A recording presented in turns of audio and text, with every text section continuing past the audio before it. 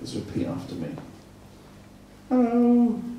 Hello. That's the general. Maybe she can wave as well. You got to do the actions. It's, the actions are very important. Hello. Hello. Bye. Bye.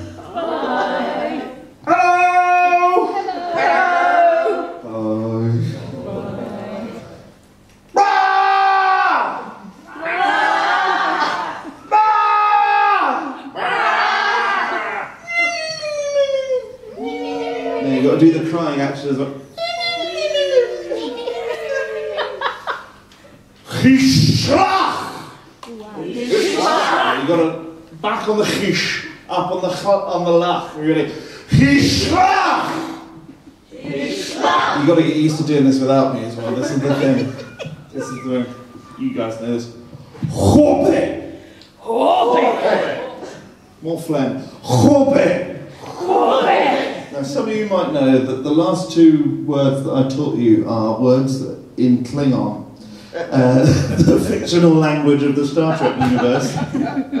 Couple of notes. Klingon is the most spoken fictional language in the entire world. Wow, I didn't know. Take that, Tolkien. Elves.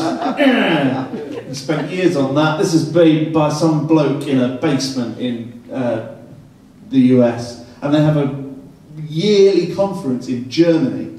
The best place to have a conference in Klingon, where they already speak in phlegm. The only other better place would have been Wales.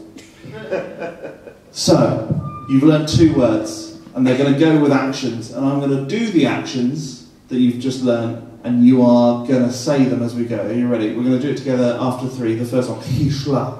Hishla. Ready? One, two, three. Hishla! And this one is Hobbit. Ready? One, two, three. Hobbit. Now, without me. Ishak. Holy. Holy. Holy. Ishak. Right, I think we're ready.